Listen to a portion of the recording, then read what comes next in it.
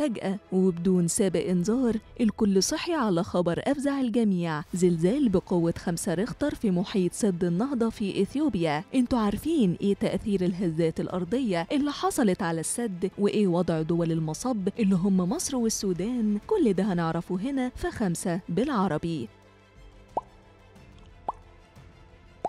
في وقت ما الأحداث والأوضاع بتتفاقم وتزداد سوء مع الجانب الإثيوبي بشأن سد النهضة وفشل كل المفاوضات تتفاجئ إثيوبيا بزلزال عند منطقة الأخدود الإثيوبي ودي واحدة من أكتر الأماكن الحساسة من الناحية الجيولوجية في إفريقيا طيب هي ليه بتعتبر من أخطر الأماكن؟ المنطقة دي مليانة فوالق وشقوق تحت سد ضخم بيحتجز 60 مليار طن من المياه فطبيعي تهدد أمان السد الزلزال كان بقوة خمس درجات على مقياس ريختر وعلى عمق 10 كيلومترات وحصل في منطقة الأخدود الإثيوبي اللي بيعتبر امتداد للأخدود الإفريقي العظيم. المنطقة دي بتبعد حوالي 140 كيلومتر عن العاصمة الإثيوبية أديس أبابا ورغم إن المسافة دي كبيرة بين مركز الزلزال وسد النهضة إلا إن الزلزال بيثير مخاوف كبيرة نظرا لطبيعة المنطقة الجيولوجية. الدكتور عباس شراقي أستاذ الموارد المائية بجامعة القاهرة وضح إن دي مش أول مرة يحصل زلزال في المنطقة وإنه في مايو 2023 حصل زلزال تاني بقوة 4.4 درجات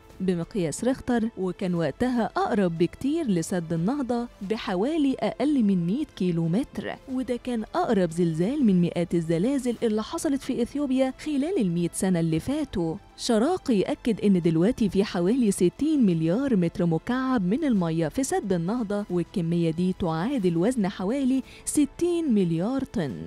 والوزن الضخم ده بيشكل ضغط كبير على قشرة الأرض الهشة جيولوجيا في إثيوبيا خصوصا إنها منطقة فوالق وشقوق جيولوجية بسبب الأخدود الإفريقي. رغم إن الزلزال ده بعيد عن السد وقوته متوسطة إلا إن تكرار الزلازل في المنطقة دي ممكن يعمل مشاكل حقيقية للسد. الدكتور شراقي حذر إن سد النهضة بعد الملء الأول بيشكل خطر كبير ممكن يكون بعد سنين لكن الخطر موجود طول الوقت. والمنطقة اللي حصل فيها الزلزال دي اللي هي الأخدود الإثيوبي بتعتبر من أكتر المناطق في إفريقيا عرضة للزلازل والبراكين. ووضح شراقي إن في خريطة بتبين مواقع الزلازل اللي حصلت خلال المئة سنة اللي فاتوا وبيظهر فيها الزلازل بشكل دوائر وكل ما كانت الدايرة أكبر كان الزلزال أقوى.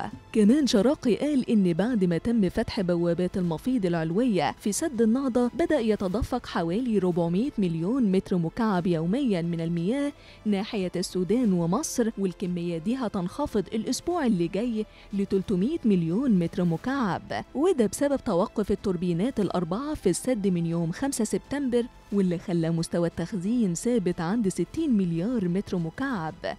ومستوى سطح البحيرة حوالي 638 متر فوق سطح البحر. وبسبب تدفق المية دي السودان اضطرت لفتح بوابات سد الروسيرس علشان يصرف المية وده رفع مستوى نهر النيل في الخرطوم. الغريب إن فيضان النيل الأبيض بدأ يوم 13 سبتمبر مع إنه دايما بيبدأ في أغسطس. والتأخير ده حصل بسبب حجز مياه النيل الأزرق وانخفاض منسوب النيل في الخرطوم من أول يوليو لحد الأسبوع الثاني من سبتمبر. ومن المتوقع إن فيضان النيل الأبيض يستمر لحد نهاية أكتوبر أو ممكن يمتد لنوفمبر في حالة استمرار توقف التوربينات وفتح بوابات المفيض.